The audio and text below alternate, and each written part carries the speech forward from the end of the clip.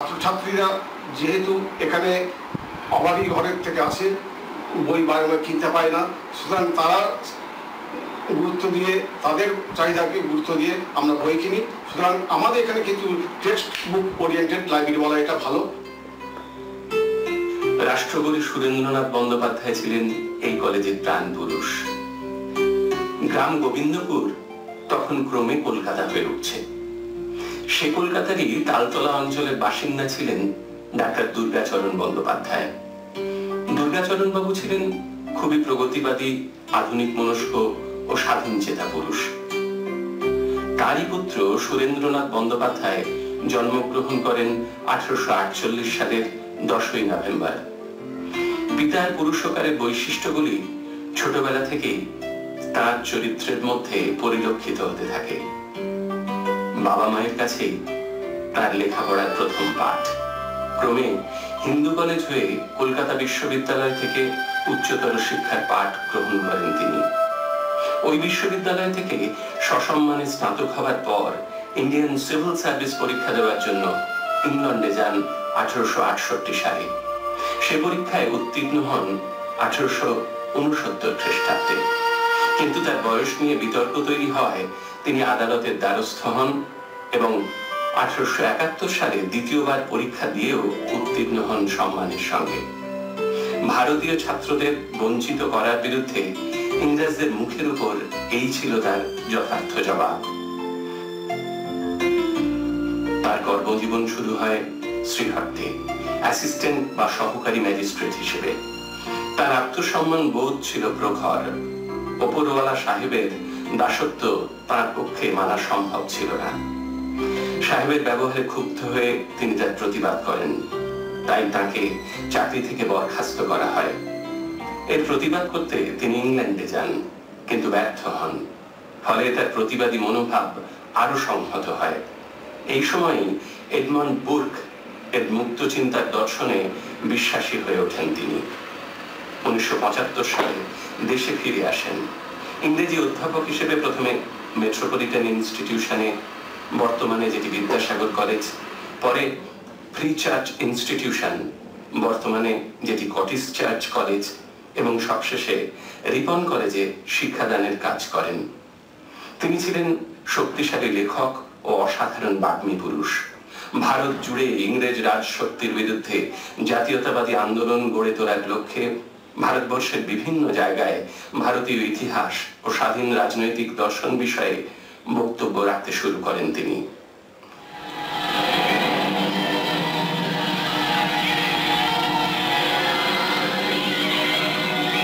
সময় তিনি অনুভব করেন জাতীয় আন্দোলনকে সংগঠিত রূপ দেওয়ার জন্য একটি রাজনৈতিক সংগঠন তৈরি করা জরুরি।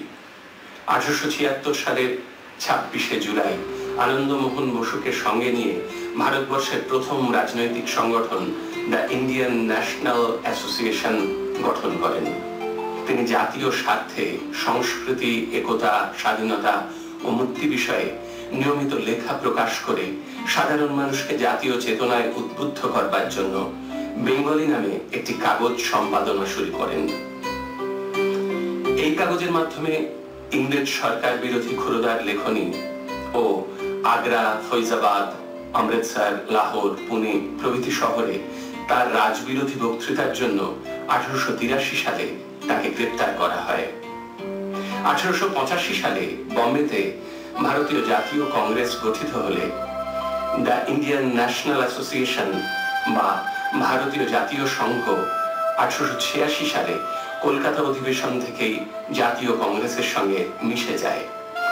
নতুন প্রতিষ্ঠিত কংগ্রেসকে শক্তিশালী করবার জন্য নিরলস সাংগঠনিক কাজের মধ্যে নিজেকে যুক্ত করেন তিনি। আঠারোশো পঁচানব্বই পুনে এবং উনিশশো দুই সালের এলাহাবাদ অধিবেশনে কংগ্রেসের সভাপতিও নির্বাচিত হন তিনি। উনিশশো পাঁচ সালে লর্ড কার্জনের নির্দেশে বাংলাকে দুভাগে ভাগ করা হয়। শুরু হয় বঙ্গবঙ্গ আন্দোলন। এই আন্দোলনে নেতৃত্ব দেন সুরেন্দ্রনাথ বন্দ্যোপাধ্যায়। অনেকের সঙ্গে রবীন্দ্রনাথ যোগ দেন এই আন্দোলনে। রাখি বন্ধন ভারতের জাতীয় আন্দোলনকে এক অন্য মাত্রা দেয়। দুই সম্প্রদায়ের মধ্যে সম্পর্ককে সুদৃঢ় করতে এবং বিভেদকামী শক্তির বিরুদ্ধে লড়াইয়ে তার ভূমিকা তাকে জননেতার আসনে প্রতিষ্ঠিত করে। মানুষ শ্রদ্ধা জানিয়ে তাকে রাষ্ট্রগুরু উপাধিতে ভূষিত করে। উনিশশো একুশ সালে তিনি নাইট উপাধিতে ভূষিত হন। বাংলার তৎকালীন সরকারের মন্ত্রী হিসেবে উনিশশো একুশ থেকে উনিশশো চব্বিশ সাল পর্যন্ত দেশ সেবায় মনোনিবেশ করেন। শিক্ষাকে সঙ্গী করে আজীবন মানুষকে শিক্ষিত করবার লক্ষ্যে পথ হেঁটেছেন তিনি। রাজা রামমোহন রায়ের সমাজ সংস্কারের আদর্শে অনুপ্রাণিত সুরেন্দ্রনাথ বুঝেছিলেন, শিক্ষার আলো ছাড়া সমাজ সংস্কার ও সমাজ চেতনা অসম্ভব।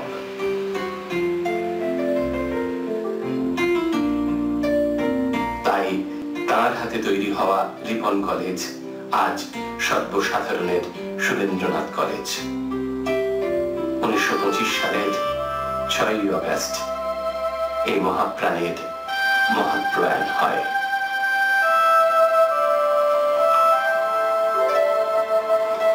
উনিশশো একষট্টিতে সুরেন্দ্রনাথ সান্ধ্য কলেজের শুরু।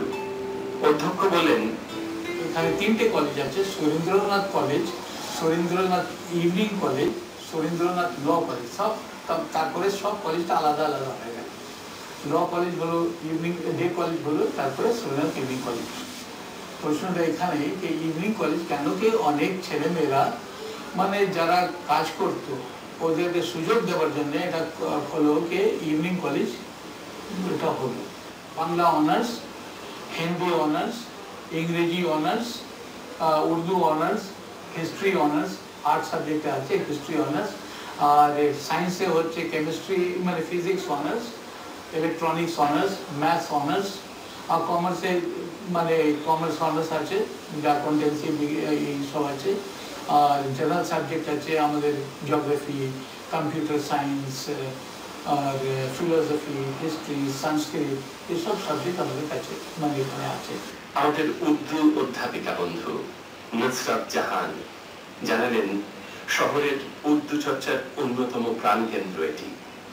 এটা টু থেকে এখানে হয়েছে উর্দু অনার্স। এখানে মানে মেয়েরা বেশি পড়তে আসে, ছেলেরা কম আছে।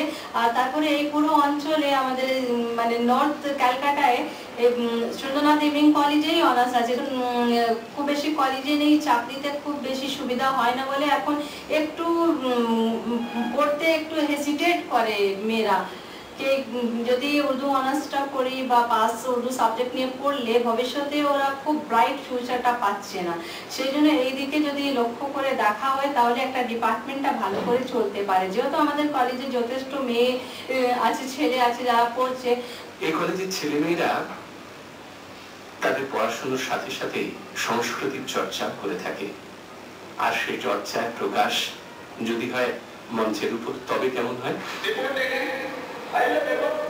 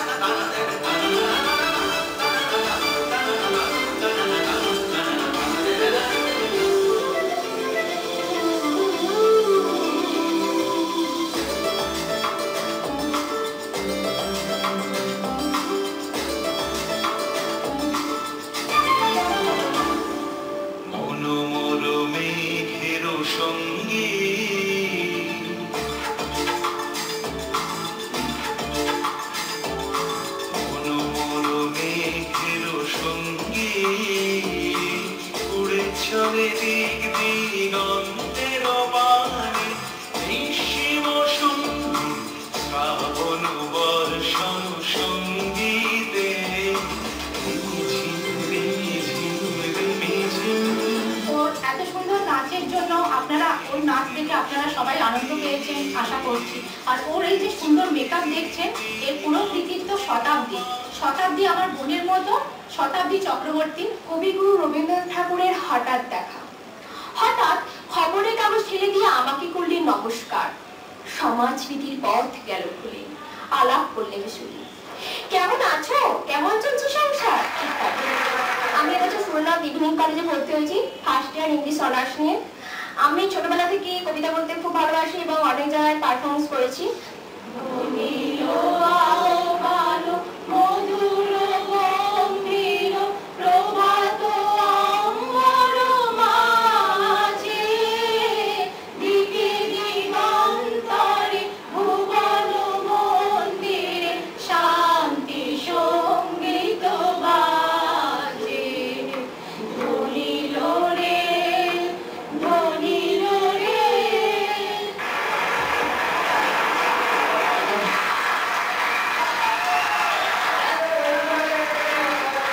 लोगों का बस एक ही कोशिश रहता है कि किसी भी तरह हम लोगों का जो एक कॉलेज का एक अच्छा माहौल है, प्यारा माहौल इस बरकरार रहे। हम लोग एक दूसरे के साथ बहुत ही फैमिली कोऑपरेटिव टीचर्स हम लोगों के पेरेंट्स की तरह हम लोगों को हर प्रोग्राम में हेल्प करते हैं, मदद करते हैं। हम लोग अपना काम उनके सपोर्ट से, उनकी मदद से कर पाते हैं। हम लोग जब कभी भी कल्चर प्रोग्राम ऑर्गेनाइज करते हैं, एक चीज़ का बात का ख्याल हम लोग हमेशा रखते हैं कि हम लोगों का प्रोग्राम ऑर्गेनाइज करने के साथ हम लोग का क्लासेस जो है जनरल स्टूडेंट का जो हम लोग क्लासेस हैम्पर ना हो আমাদের এখানে অনেক সময় কালচার প্রোগ্রাম ছাত্রদের দিয়েও হয় প্লাস হচ্ছে আমাদের এখানে সেমিনারগুলো হয় সেখানে আমরা সবাই একসাথে মিলিতভাবে একই প্ল্যাটফর্মে যৌথভাবে আহ, সুন্দরভাবে আমরা সেই সেমিনার বা সেই প্রোগ্রামকে সাকসেসফুল করি সুরেন্দ্রনাথ সান্ধ্য কলেজের অনেকগুলি বিভাগ থাকলেও বাণিজ্য বিভাগের একসময় খুব নাম ছিল আর বিভিন্ন জায়গা থেকে ছেলেমেয়েরা পড়তে আসতো ওই বিভাগটিতে। আজ কেমন চলছে সেই বাণিজ্য বিভাগ? শুনে নেব প্রধানের কাছ থেকে।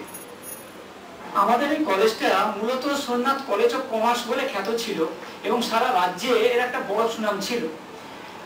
খুব মাঝখানে ওই নয়ের দশকের শেষের দিকটা এবং দু হাজার সালের প্রথমের দিকটা হঠাৎ করে আমাদের এই কলেজে কমার্স বিভাগে কিছুটা পতন হয়েছিল। বর্তমানে কিন্তু সে গতিটা আবার পুনরায় বৃদ্ধি পেয়েছে এবং আমরা পরপর কয়েক বছর ধরে দেখছি যে বাণিজ্য বিভাগে আমাদের ছাত্রের প্লাবন ঘটেছে। যে প্লাবনটা এবছরের সবচেয়ে চূড়ান্ত শীর্ষে হাজির হয়েছে, যেটা প্রায় নশো সত্তর জন বাণিজ্য বিভাগে আমাদের ভর্তি হয়েছে, যেটা সর্বকালের রেকর্ড হিসাবে এবছর আমরা দেখছি। কলেজের পঠন পাঠনের মানটা যাতে ঠিক মতন ধরে রাখা যায় আমরা সর্বাত্মকভাবে সেই চেষ্টা চালিয়ে যাচ্ছি এবং আমাদের যে পাঁচটা থেকে ক্লাস শুরু হচ্ছে সেটা আমরা সবসময় কন্টিনিউয়াসলি একজন টিচার বেরিয়ে আসার সঙ্গে সঙ্গে পরবর্তী টিচার যাতে সেখানে রিপ্লেস করতে পারি আমরা তার ব্যবস্থা চালিয়ে যাচ্ছি। আমরা এসে পৌঁছেছি সুরেন্দ্রনাথ ইভিনিং কলেজের কেমিস্ট্রি ডিপার্টমেন্ট অর্থাৎ রসায়ন বিভাগে। আমাদের এখানে যে ধরনের স্টুডেন্টরা পড়তে আসে সাধারণত একটু ইকোনমিক্যালি ব্যাকওয়ার্ড দিক থেকেই বলতে পারেন কেন কি তারা বেশিরভাগই হয়তো দিনের বেলা কোনো কাজকর্ম করে, দিনের শেষে তারা পড়াশোনাটা চালিয়ে যায়। সেক্ষেত্রে তাদেরকে আমরা সহানুভূতির সঙ্গে দেখি, তাদেরকে যতটা সময় দেওয়া যায়। অধিকাংশ ক্ষেত্রেই বেশিরভাগই দেখা যায় যে, ল্যাব ইকুইপমেন্ট যে ধরনের কিনতে হয়, তারা হয়তো কিনে নিতে পারে না। সেক্ষেত্রে তাদেরকে আমাদেরকে নিজে থেকে সেগুলো সাপ্লাই দেওয়া বা যত রকমের হেল্প করা বই টই সমস্ত দিক দিয়ে আমাদেরকে সাহায্যটা করতে হয়। অধ্যাপিকা শ্রীমতী সেন আমাদের জানালেন কতটা নিরাপদ মেয়েরা এই কলেজে সান্ধ্য বলে আমাদের মেয়েদের যে কোনো অসুবিধা হয় সেটা আমার মনে হয় না এবং আমার সঙ্গে এখানে আমার বিভিন্ন মহিলা কলিগও আছেন, তারাও একই কথা বলবেন যে আমরা কিন্তু আমাদের ছাত্রীদের, বিশেষত সেহেতু ছাত্রীদের কথাই বারবার উঠে আসছে। ছাত্রীদের কিন্তু আমরা যথেষ্ট নিরাপত্তা আহ, সেদিনই হয়েছে একটি ছাত্রী আমাকে বলছে যে ম্যাডাম সাতটা পঞ্চান্নতে ক্লাস আছে, আমার তো যেতে দেরি হবে। তো আমি বললাম, ঠিক আছে, তুমি এসো। তোমার যদি নিশ্চয়ই আমি বালিগঞ্জে থাকি, তখন আমি ভাবলাম, সত্যি তো, আমার, আমরাও তো একদিন ওদের মতন বয়সী ছিলাম, আমাদের মা বাবারাও তো কত চিন্তা করেছেন যে, আমি বললাম, ঠিক আছে, আমার ক্লাস সাতটা পঞ্চান্নতেই হবে, কেননা সেটা আমি পেছোতে পারি না। কিন্তু তোমার জন্যে বা তোমার মতন অন্যান্য মেয়েদের জন্যে আমার যখন ক্লাস অফ থাকবে, তখন তুমি এসো, তোমার ক্লাস আমি করিয়ে দেবো। আমাদের টিচাররা এবং ছাত্রছাত্রীরা আমাদের টিচাররা যেমন শিক্ষিকা শিক্ষক দুজনেই আছে সেরকম ছাত্র ছাত্রী সবাই এখানে আছি আমরা। আমাদের ইভিনিং বা ডে কোনো জায়গাতেই আমাদের কিন্তু কোনো অসুবিধা হয় না।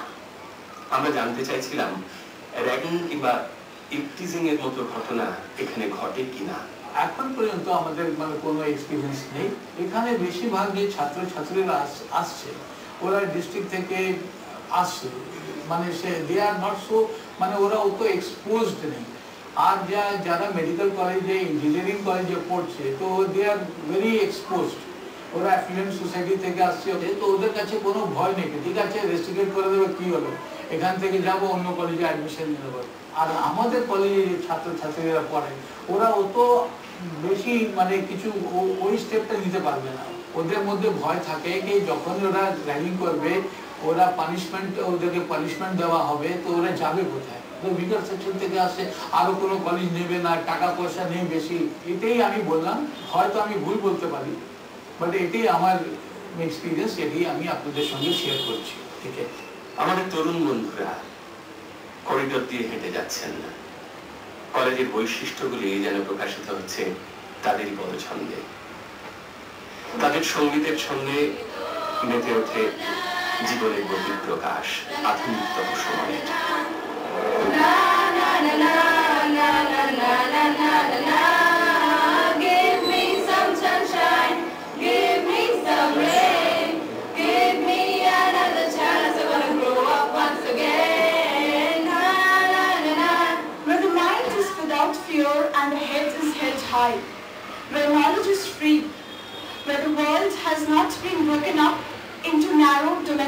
Where words come out from the depth of truth. Where tireless striving stretches its arms towards perfection. Where the clear stream of reason has not lost its way into the dreary desert sand of dead habit where the mind is led forward by thee into ever-widening thought and action, into that heaven of freedom, my Father, let my country awake.